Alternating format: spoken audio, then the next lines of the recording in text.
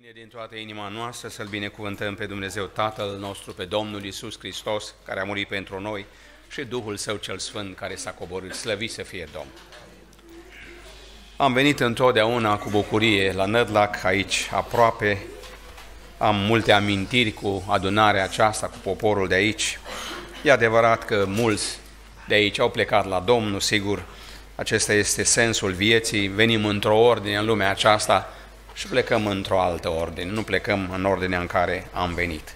De data aceasta mărturisesc că am găsit o schimbare frumoasă, aici este mai multă lumină, ați aranjat un pic adunarea, ne vedem mai bine, este frumos în casa Domnului, e lumină și vreau să fie și căldură. Duhul Sfânt să ne cerceteze în seara aceasta, să ne dea harul acesta de a avea părtășie din cuvântul lui Dumnezeu.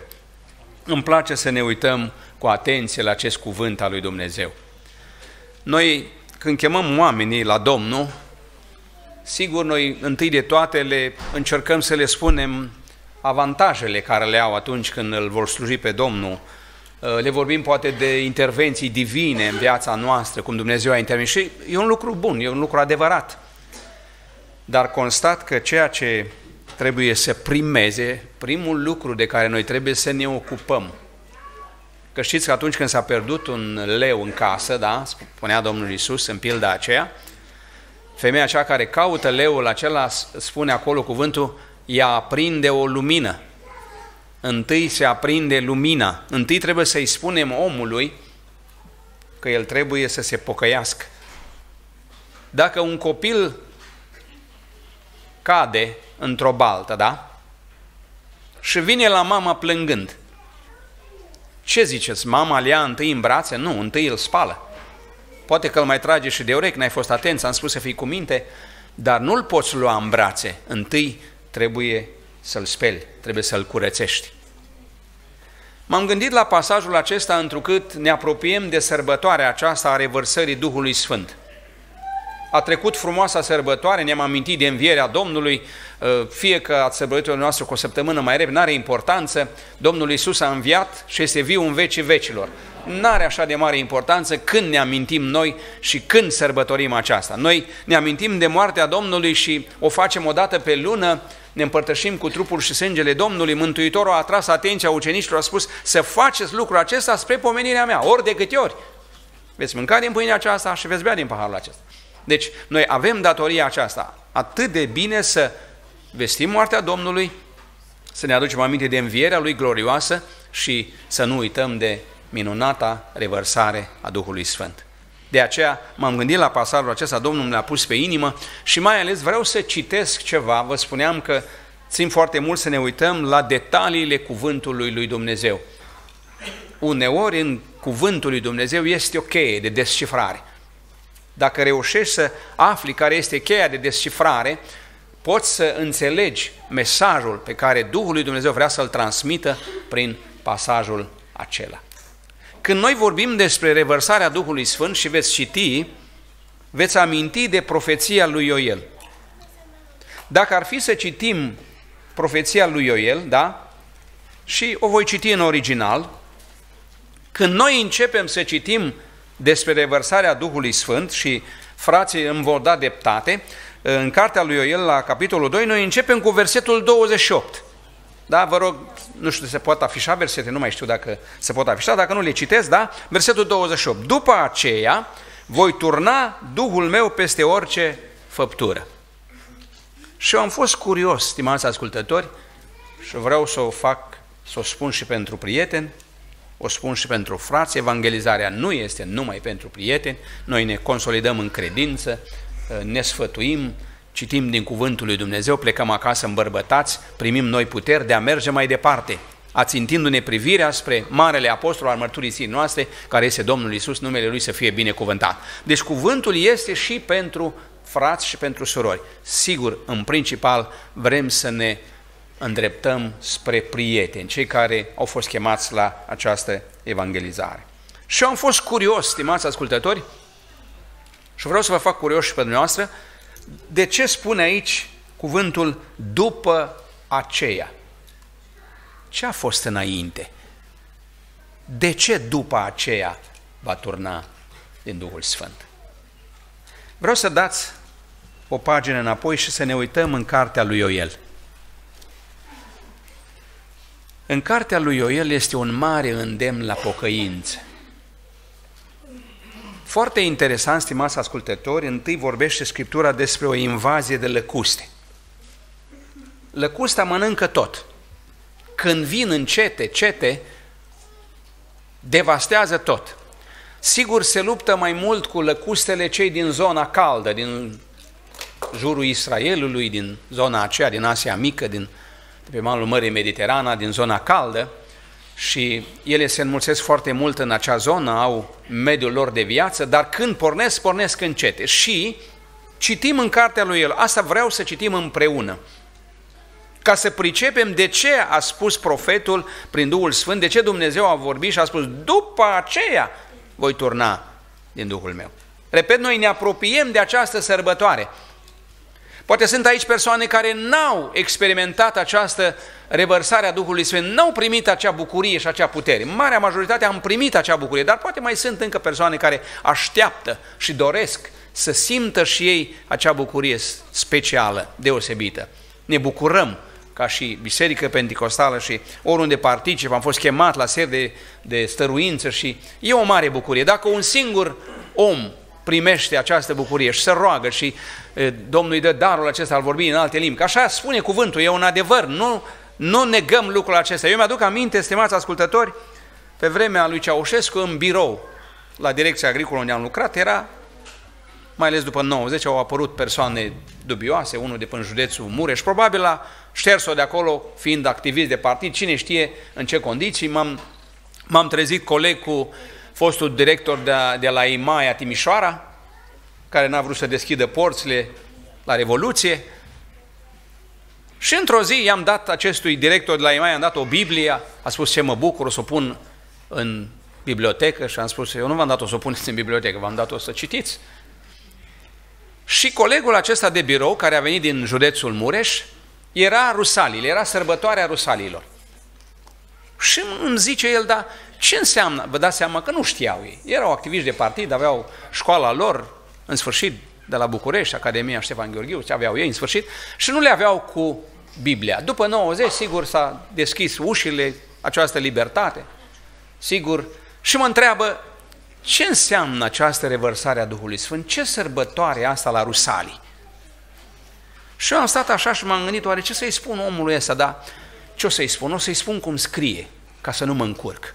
Și am deschis Biblia, că aveam Biblia la servici, și am citit deodată că a văjit unui vânt puternic și am povestit omului și am spus, acolo erau adunați evrei care știau limba maternă a poporului în care erau și știau și limba ebraică. Dar când a venit Duhul Sfânt peste apostoli, că așa scrie cuvântul și am explicat acestui om care nu înțelegea, când a venit Duhul Sfânt peste apostoli, evrei de pe margine care veniseră la sărbătoare, care cunoșteau o anumită limbă, mezi, parți, la miți, așa cum scrie în Cartea Faptele Apostolilor, îi auzea vorbind pe cei botezați cu Duhul Sfânt în limba lor maternă și le vorbea lucrurile minunate ale lui Dumnezeu. I-am explicat că nu puteam să găsesc alte cuvinte și atunci a spus, am înțeles cum a fost această coborâre a Duhului Sfânt. Citim în cartea profetului Ioel, de ce după aceea voi turna din Duhul Sfânt. Cuvântul Domnului a fost spus lui Ioel, fiul lui Petuel, ascultați lucrul acesta bătrâni și luați seama toți locuitorii țării, s-a întâmplat așa ceva pe vremea voastră sau pe vremea părinților voștri, povestiți copiilor voștri despre lucrul acesta și copiii voștri să povestească la copiii lor, iar copiii lor să povestească neamului de oameni care va urma. Ce a lăsat nemâncat lăcusta Gazam, a mâncat lăcusta Arbeh, ce a lăsat lăcusta Arbeh, a mâncat lăcusta Elec și ce a lăsat lăcusta Elec, a mâncat lăcusta Hasil. O invazie puternică de lăcuste. Treziți-vă bețivilor și plângeți. Deci poporul lui Dumnezeu, poporul Israel, avea nevoie de o întoarcere. În ei, în poporul acesta erau oameni bețivi, erau oameni care au depășit limitele admisibile și l-au supărat pe Dumnezeu. Era nevoie de această pocăință. Observați, Dumnezeu nu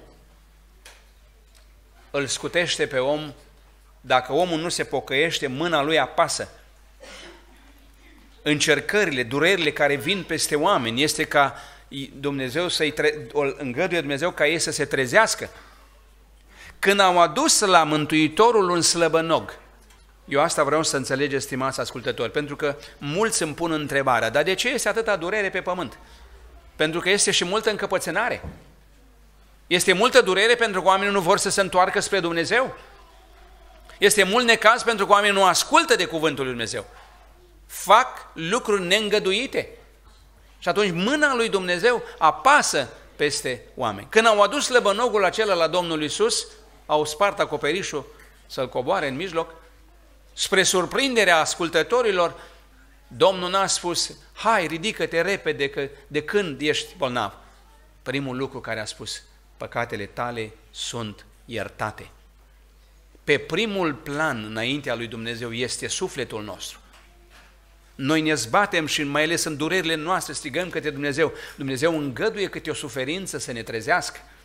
Îngăduie câte o suferință să ne trezim, să ne rugăm mai mult. Îngăduie o suferință ca să stăm să citim cuvântul lui Dumnezeu, să ne apropiem de El în clipe de, de meditație, pentru că în zbuciumul nostru, în alergarea noastră, i-am întors spatele lui Dumnezeu, ne rugăm două minute, trei dimineața, dacă se mai poate, în două, trei minute seara și asta e viața noastră de credință. Nu se poate așa. Și atunci Dumnezeu îngăduie anumite încercări. A venit peste Israel o invazie de lăcuste. Dar vă citesc, stimați ascultători, eu am rămas îngrozit când am citit în țara mea a năvălit un popor puternic și fără număr, cu dinți de leu și măsele de leoaică. Mi-a pustit via, mi-a făcut butu, bucăți smochinul, l-a jupuit de coajă, l-a trântit jos, da? Mlădițele de viță au ajuns albe. Bocește-te ca fecioara încinsă cu un sac după bărbatul tinereții ei. Au încetat darurile de mâncare și jertfele de băutură din casa Domnului. Preoții slujitorii Domnului jălesc. Ce nenorocire! Să nu mai fie la casa lui Dumnezeu darurile de mâncare. Și evreii țineau foarte mult la jertfele acestea. Dumnezeu aștepta ca ei să se pocăiască. Stimați ascultători, spre surprinderea mea, dacă citiți și noastră împreună cu mine cu atenție acest cuvânt și dacă n-ați înțeles, mai duceți să vă acasă și mai citiți încă o dată, presiunea, mâna lui Dumnezeu apasă în continuare. Ei n-au înțeles și nu s-au pocăit. Citim mai departe, da? Nu s-a prăpădit hrana sub ochii noștri, n-a pierit bucuria și veselia din casa Dumnezeului nostru. Iată, n-au mai avut daruri de mâncare. Pentru că nu s-au pocăit la invazia aceasta de lăcuste, vine o a doua nenorocire puternică, o secetă uriașă. Iată ce spune cuvântul. Vai ce zi, da, ziua Domnului este aproape, vine ca o pustire din partea celui atotputernic. Versetul 17. S-au uscat semințele sub bulgări. Grânarele stau goale. Deci a trecut invazia de lecuste, o, o invazie de cinci, val, patru valuri în acestea, le dă nume, așa este, ca și uh, cataclismele care vin, taifunurile și așa mai departe, poartă nume. Uragane și așa mai departe, poartă un nume. Uraganul Katrina și așa mai departe, poartă niște nume. Așa sunt aceste lăcuste, valurile acestea de lăcuste au venit și au prăpădit tot. Și ei totuși nu s-au pocăit. Citim mai departe, da? A doilea val, a doua pedeapsa lui Dumnezeu. S-au uscat semințele sub bulgări, grânarele stau goale, hambarele sunt stricate, că s-a stricat semănătura. Cum gem vitele, cirezele de boi umblă buimace, căci nu mai au pășune, chiar și turmele de oi sufăr. Către tine, Doamne, strig, căci am mâncat focul islazurile pustiei și para focului a părlit toți copacii de pe câmp. Așa o secetă, că au izbucnit incendii S-a prăpădit iarba de pe câmp, o uscăciune deosebită, focuri, focuri, cam cum descria Nicolae Labiș în poezia lui Moartea Căprioare. Peste păduri, focuri, focuri, dansează sălbatic, satanice jocuri. Soarele s-a topit și a curs pe pământ, a rămas cerul fierbinte și gol, ciuturile scot din fântână nămol. Mă iau după tata la deal printre târșuri și brazii mă scârie răi și uscați, pornim vânătoarea de capre, vânătoarea de foamete în munții Carpați. Așa o secetă, că au secat, pâraile s-au uscat, islazurile, focul a prăpădit totul. Chiar și fiarele câmpului se îndreaptă doritoare către tine, căci au secat pâraile și a mâncat focul islazurile pustiei. Și apoi vine paragraful îndemn la pocăință. Nu v-ați pocăit la invazia de lăcuste, a venit a, doilea, a doua mare nenorocire, această secetă deosebită. Vine Dumnezeu și spune, sunați din trâmbiță în Sion, sunați în gura mare pe muntele meu cel sfânt, ca să tremure toți locuitorii țării, căci ziua Domnului este aproape. O zi de întuneric și negură mare, o zi de nor și întunecime ca zorile dimineții se întinde peste munți, un popor mare și puternic cum n-a mai fost din viac și nici în vremurile viitoare. Ascultați, mergem mai departe și citim în același capitol versetul 14 începând. Dar să începem cu 13. Sfârșiați-vă inimile, nu hainele. Întoarceți-vă la Domnul Dumnezeul vostru, căci El este milostiv și plin de îndurare, îndelung răbdător și bogat în bunătate și îi pare rău de relele pe care le trimite. Nu face Dumnezeu cu bucurie, dar se vede silit să-i atenționeze pe oameni. Deosebit, când am citit aici, mi-am dat seama și l-am înțeles, l-am înțeles pe Dumnezeu. Ne iubește, ne vrea în împărăția Lui. Pedeapsa de la urmă ar fi prea mare să pierdem cerul, să pierdem raiul, să fim într-un chin veșnic. Dumnezeu să ne păzească. De aceea El în dragostea Lui vrea să ne trezească, ne îndeamnă la pocăință. Uitați ce sună, cât de frumos sună mai departe cuvântul. Cine știe dacă nu se va întoarce și nu se va căi? Cine știe dacă nu va lăsa după el o binecuvântare, daruri de mâncare și jertfe de băutură, da? Pentru Domnul Dumnezeul vostru. Sunați cu trâmbița în Sion, vestiți un post, chemați o adunare de sărbătoare, strângeți poporul, țineți o adunare sfântă, aduceți pe bătrâni, strângeți copiii și chiar sugarii, să iasă mire din cămara lui și mireasa din odaia ei. Asta înseamnă pocăință, asta dorește Dumnezeu. Nimeni nu este scutit și mirele și mireasa și copilul și bătrânul să se întoarcă spre Dumnezeu. Doamne, ajută la aceasta. Citim mai departe, preoți, slujitorii Domnului să plângă între tindă și altar și să zică, Doamne, îndură-te de poporul tău, nu da de ocară moștenirea ta, nu face de barjocora popoarelor, pentru ce să se zică printre neamuri, unde este Dumnezeul lor? Stimați ascultători, atunci când noi trecem prin durere și prin necaz, oamenii care nu înțeleg de pe margine se întreabă, dar oare unde Dumnezeul lor? Dumnezeul nostru este tot acolo. Spune unul din psalmi, Domnul era pe scaunul de domnie când cu potopul. E acolo, în control, slăvit să fie El. Problema e la noi. Noi trebuie să ne întoarcem spre El. Primul pas pe care îl face omul trebuie să fie pasul pocăinței. Au rămas străpunși în inimă și au întrebat pe Petru și pe ceilalți, ce să facem? Pocăiți-vă. Doamne, ajută-ne. Iată, citim, da, făgăduințe. Domnul a fost plin de râvnă pentru țara lui, s-a îndurat de poporul său. De data aceasta s-au întors cu post, cu rugăciune, îndemnul a fost sever, mirele, mireasa, copilul, bătrânul, așa cum vă citeam, și Domnul a fost plin de râvnă pentru țara lui, s-a îndurat de poporul său. Domnul a răspuns, a zis poporului său, iată, vă trimit grâu, mus și un de lemn, proaspăt ca să vă, sat, să vă săturați de ele și nu vă mai face de ocară între neamuri. Voi depărta de la voi pe vrăjmaș și așa mai departe, nu te teme pământule, bucură-te, veselește, că Domnul face lucruri mari, nu, te teme, nu vă temeți fiare de pe câmp și voi copii ai Sionului.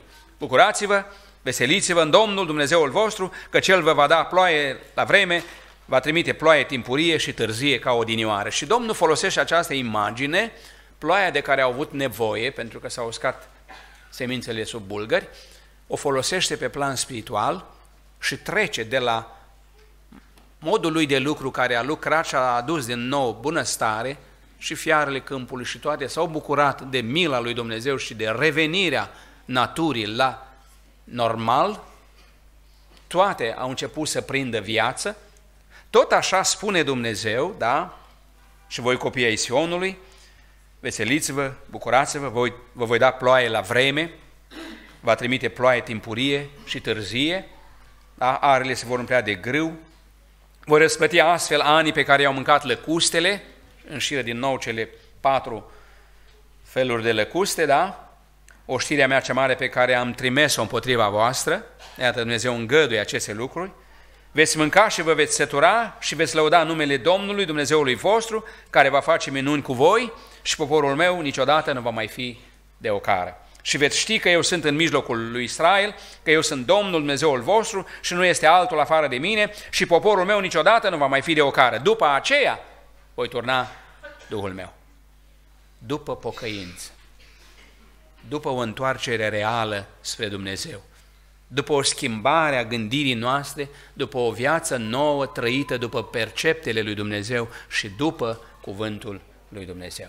Dumnezeu să fie lăudat. Citesc mai departe, stimați ascultători, da? Fiii și fiicele voastre vor proroci, bătrânii voștri vor visa visuri, tinerii voștri vor avea vedenii, chiar și peste robi și peste roabe voi tuna Duhul meu în zilele acelea, voi face să se vadă semne în ceruri și pe pământ, sânge, foc și stâlp de fum, soarele se va preface în întuneric și luna în sânge înainte de a veni ziua Domnului, ziua aceea mare și înfricoșată. Atunci oricine va chema numele Domnului va fi mântuit, căci mântuirea va fi pe muntele Sionului și la Ierusalim. Acolo a murit Domnul Isus. De acolo ne vine nouă izbăvirea. Sângele lui a curs pe crucea din dealul iubirii, pe culmea lipsită de flori. Numele lui să fie binecuvântat. Stimați ascultători, citesc în cartea lui Ioel, da, mai citesc încă o dată, voi face să se vadă semne, soarele se va face în întuneric, luna în sânge, înainte de a veni ziua Domnului, ziua aceea mare și înfricoșătoare și înfricoșată. Citesc traducerea lui Petru. Da? Am citit în Cartea Faptele Apostolilor. Le explică celor care au spus că ucenicii sunt beți, când au văzut că vorbesc într-o altă limbă, unii au zis, să splin de mus, sunt beți. Și Petru a spus, nu, nu sunt beți. Asta e ce a spus profetul Ioel. Și apostolul Petru, vă spuneam că e foarte bine să fiți atenți când citiți cuvântul lui Dumnezeu, mai ales cei care dați îndemnuri, da, și nu numai. Noi trebuie să știm cuvântul lui Dumnezeu, că se întâmplă câteodată doi necredincioși vorbește, îmi spunea un coleg, e adevărat că scrie în Biblie de rasa galbenă. Nu, nu scrie mă de rasa galbenă, scrie de calul galben. Aia e altceva. Și noi trebuie să știm cuvântul lui Dumnezeu. Oamenii bâșbăi așa și dau cu presupusul, cam așa spune în Biblie. Noi trebuie să știm ce spune Biblia. Dumnezeu să ne ajute la aceasta. Căci va veni vremea rătăcirii, va veni anticristul, va veni omul acesta al fără de lege, va veni cu o parte din Scriptură. A venit la Domnul Isus diavolul cu versete. Aruncă-te că-i scris, voi porunci îngerilor să te țină pe mâini ca nu cumva să-ți lovești piciorul de o piatră. Și Domnul a spus, nu, să nu ispitești pe Domnul Dumnezeul tău. Nu interpreta tu cum vrei tu. Domnului Dumnezeului tău să-i te închini și numai lui să-i slujești. Înapoi a mea, satan. Deci Domnul a fost atent. Diavolul vine cu Biblia, cu o parte din Biblie așa, răstălmăcește, trunchează, taie din versete, știu eu, și vine și te aburește. Noi trebuie să cunoaștem cuvântul lui Dumnezeu. Și acum citesc, da, traducerea lui Petru. Citează din cartea lui Ioel. Vă rog să fiți atenți. Aceasta este ce a fost spus de prorocul Ioel versetul 16 din capitolul 2 din Fapte. În zilele de pe urmă, zice Dumnezeu, voi turna din Duhul meu peste orice făptură, Feciorii voștri și fetele voastre vor proroci, tinerii voștri vor, vedea, vor avea vedenii și bătrânii voștri vor visa visuri. Da, chiar și peste robii mei și peste roabele mele. Asta înseamnă că știți că robii nu erau dintre evrei. Evreii n-aveau permisiunea să aibă rob uh, un evreu. Dacă cumva totuși unul îl slujea, în al șaptelea an îi dădea drumul. Robii erau dintre neamuri.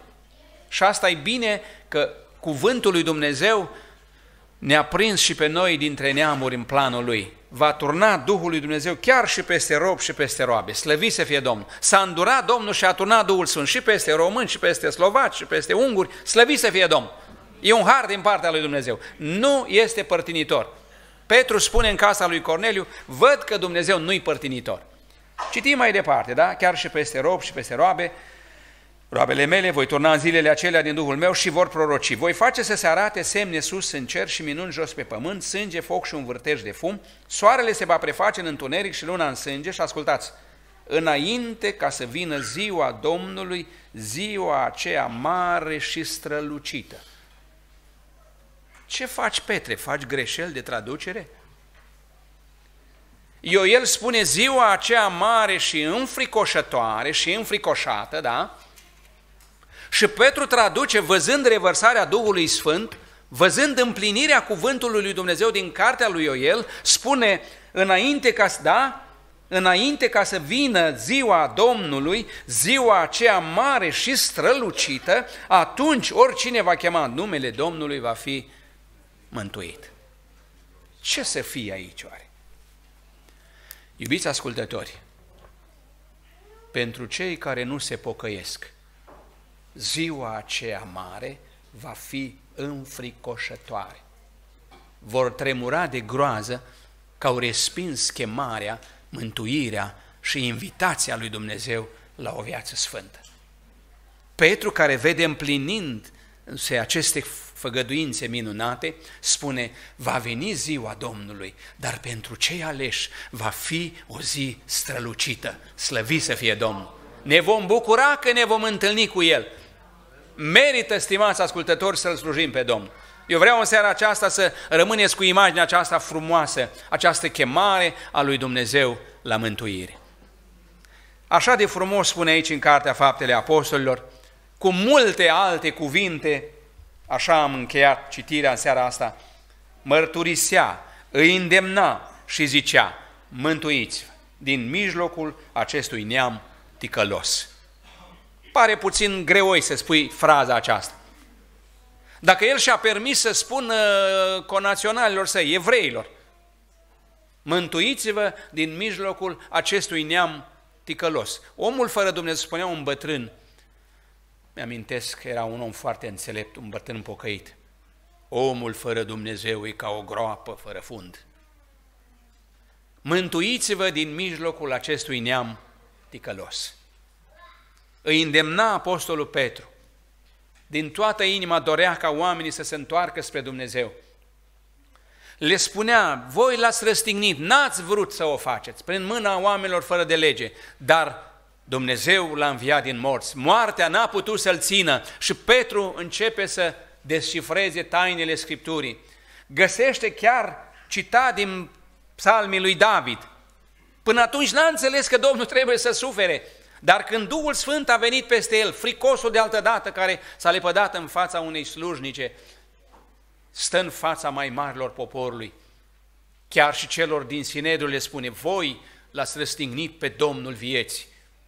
Și spune aici cuvântul Domnului, iată, David a zis despre el, eu aveam pe Domnul întotdeauna înaintea mea, pentru că El este la dreapta mea ca să nu mă clatin. De aceea mi se bucură inima și mi se veselește limba, chiar și trupul mi se va odihni în nădejde, căci nu vei lăsa sufletul în locuința morților și nu vei îngădui ca Sfântul tău să vadă putrezirea. Ce frumos! Petru înțelege cuvântul lui Dumnezeu. Stimați ascultători, mă apropii de încheiere. Dumnezeu vrea întâi această pocăință. Dumnezeu vrea, Dumnezeu vrea să ne întoarcem din toată inima spre El. Cântăm, lăudăm pe Domnul, dar întâi de toate noi trebuie să umblăm la viața noastră. Cine cântă o cântare, trebuie să o cânte cu o inimă curată. Celui neprihănit îi șade bine cântarea de laudă. Vedem oameni care cântă, dar nu sunt așa cum ar trebui să fie înaintea lui Dumnezeu. Este așa o mișcare, este așa o formă, dar nu este ceea ce trebuie. Dumnezeu nu se lasă impresionat. El vrea o inimă sinceră, El vrea o întoarcere din toată inima spre Domnul, vrea o viață curată.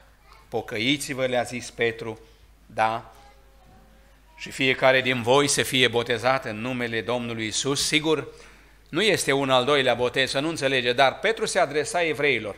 Marea lor problemă era dacă Isus este Fiul lui Dumnezeu și dacă Isus este Cel care deschide o cale nouă. De aceea el folosește expresia aceasta a evreilor spunându-le botezați-vă în numele lui Isus Hristos, adică credeți în El că El este trimisul, El este Mesia. Dar formula de botez este ceea ce a spus Mântuitorul. Le-a spus ucenicilor, mergeți în toată lumea, propovăduiți Evanghelia la orice făptură, cine va crede și se va boteza, va fi mântuit. Și botezați în numele Tatălui, al Fiului și al Duhului Sfânt. Slăvit să fie Domnul. Sunt cuvintele Mântuitorului. Da? Petru a folosit în mod particular, evreilor le-a spus, trebuie să credeți în Isus. Botezați-vă, sigur, în numele Lui Isus, dar se subînțelege că este numele Tatălui, al Fiului și al Duhului Sfânt. Și fiecare din voi să fie botezat, apoi veți primi darul Sfântului Duh. După aceea voi turna din Duhul meu. Este nevoie de această pocăință. Doamne, ajute la aceasta. Fiecare să se cerceteze, dar fiecare să facă o inspecție a sufletului său, a vieții lui, să vadă care sunt lucrurile care nu-i plac lui Dumnezeu. Noi avem o conștiință. Omul are această conștiință. Spune Apostolul Pavel și îmi place așa de mult în cartea romanilor și vreau să vă spun, stimați ascultători, că oamenii nu se vor putea justifica că nu au auzit neapărat mult din cuvântul lui Dumnezeu. Eu mi-aduc aminte la înmormântarea bunicului meu, era un om care stătea așa mai deoparte și nu vrea să asculte și îl întreb pe tata, dar de ce? Zice, el nu vrea să audă ca nu cumva să fie în ziua aceea osândit, se ferește. Zice, n-am auzit, n-am știut. Nu este un mod de a ne scuza, de a ne ascunde. Iată ce spune în Cartea Romanilor, capitolul 2. Vreau să fiți atenți la modul cum lucrează Dumnezeu. El a pus în mintea noastră un cuget, un senzor. Petru când a cântat cocoșul și a adus aminte că Mântuitorul a spus te vei lebăda de mine. Ca un fel de glas al cocoșului pentru Petru, așa este cugetul nostru. Iată ce spune în Cartea Romani. Versetul 11, începem cu versetul 11 din capitolul 2. Dar să citim mai sus.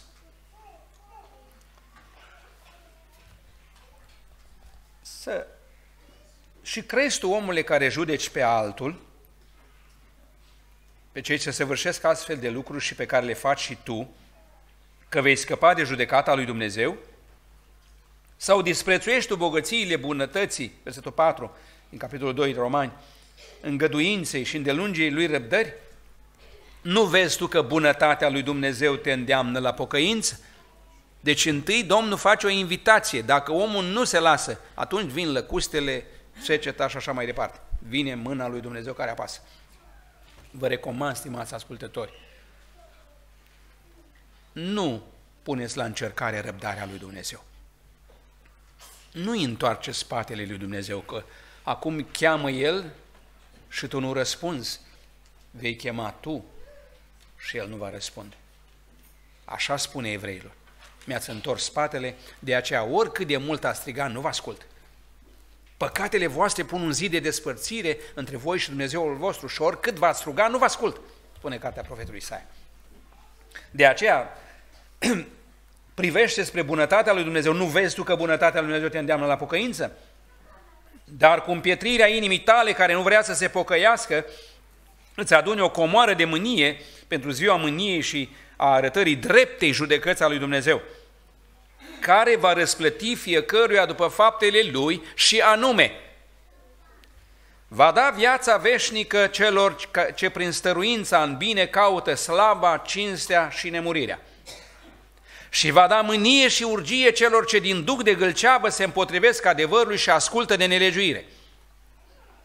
Necaz și strâmtorare va veni peste orice suflet omenesc care face răul, întâi peste iudeu, apoi peste grec. De ce peste iudeu? Că au cunoscut. Slavă, cinste și pace va veni peste orice, însă peste orice, oricine face, da, peste oricine face binele, deci după categoria cu necazul, apoi spune slavă, cinste și pace, va veni însă peste oricine face binele, întâi peste iudeu, apoi peste grec. Au avut prioritate prin Domnul Isus, care este și mântuirea vine de la iudei, cum a spus și Samaritean, că și-a recunoscut. Căci înaintea lui Dumnezeu nu se are în vedere fața omului. Și acum ascultați și am vrut eu să vă spun vis-a-vis -vis de cugetul nostru. Toți cei ce au păcătuit fără lege vor pieri fără lege. Și toți cei ce au păcătuit având lege vor fi judecați după respectiva lege. Pentru că nu cei ce aud legea sunt neprihăniți înaintea lui Dumnezeu, și cei ce împlinesc legea aceasta vor fi socotiți neprihăniți. Când neamurile, măcar că n-au lege, fac din fire lucrurile legii, prin aceasta ei care n-au lege își sunt singuri lege și ei dovedesc că lucrarea legii este scrisă în inimile lor, fiindcă despre lucrarea aceasta mărturisește cugetul lor și gândurile lor, care sau se învinovățesc sau se dezvinovățesc între ele. Deci la nivelul cugetului omul simte dacă a făcut ceva rău. Nu trebuie să-i spui că simte cugetul îl mustră că a făcut ceva rău. Am vorbit ceva și nu trebuia. L-am jignit pe fratele și îmi dau seama că am greșit. Am spus ceva și nu trebuia. Am supărat-o pe mama prin exprimarea mea. Simte tânăra la nivelul cugetului ei. Simte tânărul la nivelul cugetului lui. Nu trebuia să vorbesc așa cu tata. Am văzut că s-a întristat și Dumnezeu ne cercetează prin cugetul nostru. În cugetul lor, oamenii sau se învinovățesc sau se dezvinovățesc. Fie că au avut o lege, fie că n-au avut o lege. Lucrarea lui Dumnezeu este scrisă în cugetele oamenilor. Noi avem ceva din Dumnezeu, noi avem legătură cu cerul, ne dăm seama că ceva nu e în ordine, că ne atenționează senzorul acesta care este cugetul nostru. Dumnezeu se uită la Cain. Cain, de ce ești posomorât? Dacă faci bine, le spune Dumnezeu, vei fi bine primit. Cain, vezi că păcatul pândește, tu să-l stăpânești. Cain a ascultat? N-a ascultat, n-a înțeles. Dumnezeu a văzut că cu Cain nu este ceva în ordine. L-a prevenit, i-a pregătit drumul mai departe, l-a atenționat și i-a spus și cum să facă. Dacă ai văzut că Abel am primit jertfa lui, dacă faci binele, vei fi bine primit. Dacă vezi că am primit jertfa lui Abel, fă ca Abel. Era greu să înțeleagă Cain, l-a văzut așa, de ce ți-e posomorâtă fața? Și Cain, care era de la cel rău, care n-a ascultat de glasul acesta al lui Dumnezeu, care l-a atenționat, a dat drumul instinctelor sale, așa cum a spus Iacob, vine întâi ispita, pofta, la nivelul cugetului nostru, apoi pofta zămislește, dă naștere păcatului, tot la nivelul minții noastre, semnăm pentru acest păcat și păcatul odată înfăptuit aduce moarte. Cum spunea cineva, deasupra caselor noastre trec păsările călătoare. Nu le putem opri. Vin aceste gânduri, vin aceste provocări, vin aceste lupte din partea celui rău. Ne luptăm cu cugetul nostru, cu stările noastre, cu poftele noastre. Avem sistemul de frână, avem înfrânarea poftelor ca o roadă a Duhului Sfânt. Nu ne-a lăsat Dumnezeu lipsiți de o apărare. Avem această putere a Duhului Sfânt. Numele Lui să fie binecuvântat. Nu putem opri aceste păsări să, nu să treacă peste casele noastre, dar le putem opri să nu-și facă cuib pe casa noastră. De aceea este bine să luăm aminte la cuvântul lui Dumnezeu, să ne întoarcem din toată inima către Domnul, Domnul să ne dea putere. Ce frumos închei cu aceste două versete.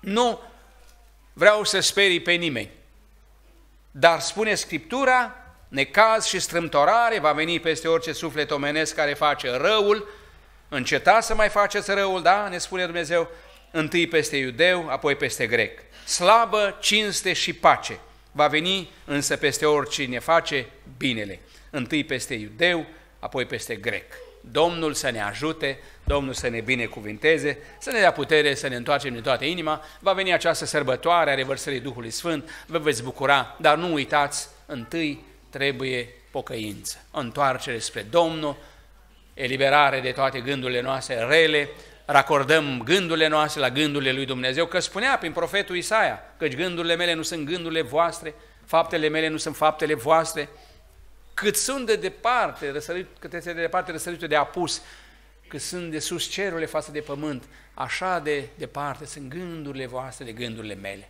Domnul să ne ajute să ne racordăm la acest gând al lui Dumnezeu, să înțelegem cuvântul acesta, să-l citim, să-l strângem în inima noastră și fie ce-o fi, când va veni ce va veni peste lumea întreagă, Domnul ne poate da protecție. Spune în cartea Apocalipsii, pentru că ai păzit cuvântul răbdării mele, te voi păzi și eu de ceasul încercării, care are să vină peste toți locuitorii pământului. Domnul să fie cu noi, să ne ajute, să ne binecuvinteze, să ne poarte în carul său de biruință. Amin.